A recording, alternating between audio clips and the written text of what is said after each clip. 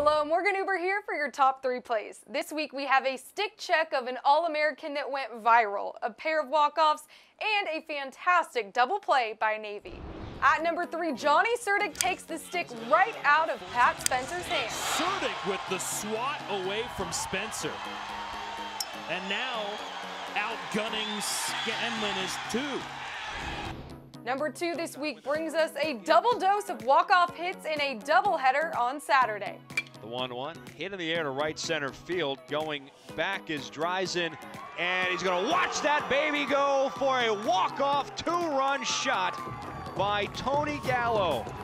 His fourth home run of the season, his third RBI, second and third of the day.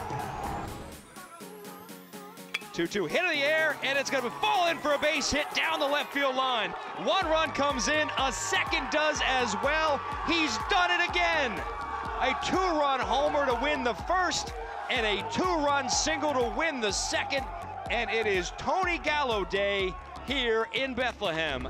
Coming in at number one, Navy Baseball delivers a PLN web gem.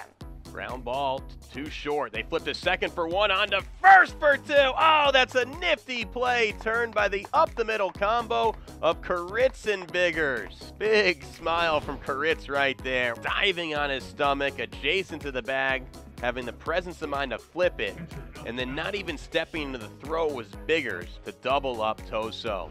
If you see a top three play on the PLN, jump on Twitter and let us know by using the hashtag PL Top 3.